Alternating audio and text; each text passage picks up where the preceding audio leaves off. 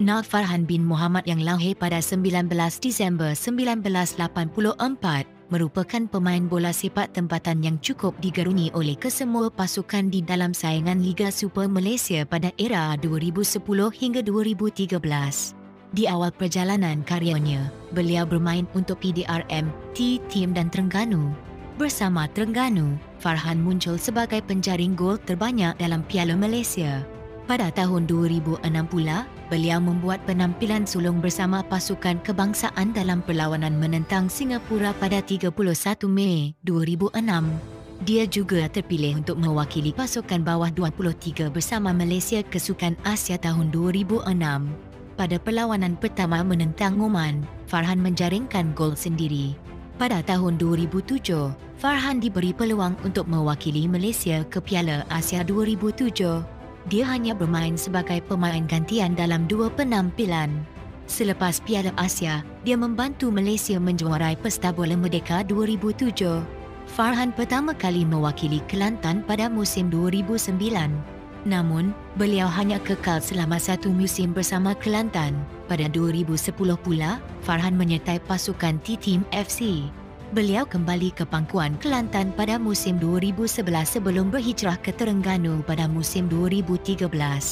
Beliau juga dinobatkan selaku pemain tempatan yang digelar penyerang terbaik pada musim 2013.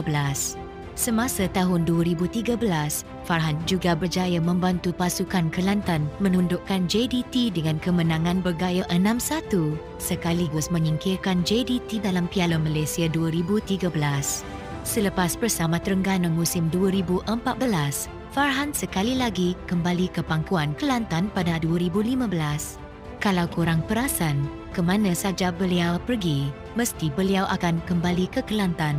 Pada musim 2015, Farhan dilihat agak bergelut untuk tampil dalam kesebelasan utama pasukan Kelantan. Ini kerana sudah ada tiga pemain impar di bahagian serangan. Jadi, peluang untuk beliau nampaknya sangat terhad. Mungkin inilah sebab mengapa beliau mahu mencari pasukan lain yang boleh menjanjikan tempat dalam kesebelasan utama buat beliau pada masa itu. Kabarnya, pasukan baru yang dikaitkan dengan Nal Farhan adalah DR Wanderers yang kini bermain dalam saingan Liga Farm. DR Wanderers juga berjaya menandatangani beberapa bekas pemain Kelantan seperti Daud Sujamaluddin dan Zairul Fitri Ishak pada tahun 2018 bukan saja bekas pemain Kelantan yang berjaya ditandatangani oleh DR Wanderers.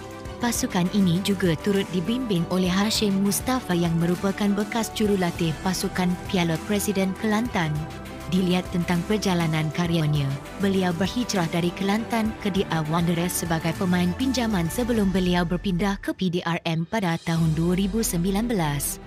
Mengikut rekod, pasukan terakhir beliau adalah PDRM pada tahun 2019.